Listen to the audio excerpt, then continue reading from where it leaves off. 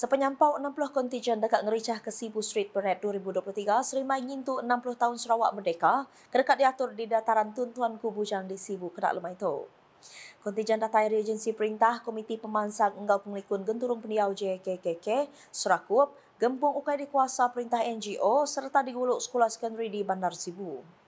Penguap Jalai Bebala Mayuh ngawal sekedak Jalai Nyengkau Bulatan Rosli Dobi, Jalan Bujang Suntung, lampu trafik Kampung Dato, Jalai Agung, Lorong Mebeng, Simpang Jalai Brook Drive, Jalai Sanyan, Jalai Ramin, Jalai Lintang, Jalai Central, engau lampu trafik Premier Hotel. Kena hari lima raptai penuh bak pengawaknya udah diatur ngelaban beris hujan, tangnya ndak nekul pengeransim bala kontijen. Sama datai medak raptainya, Sapit Menteri Dagang Temuai Industri Kreatif Engau Seni Pemerintah Sarawak, Datuk Sebastian Ting Chiu Yu, ke megak disadang ke berjari ke pengawak flag off berjalai berbala mayuah lemai itu. Pengawaknya megak disadang nerima penatai Menteri Dagang Temuai Industri Kreatif Engau Seni Pemerintah, Datuk Sri Abdul Karim Rahman Hamzah.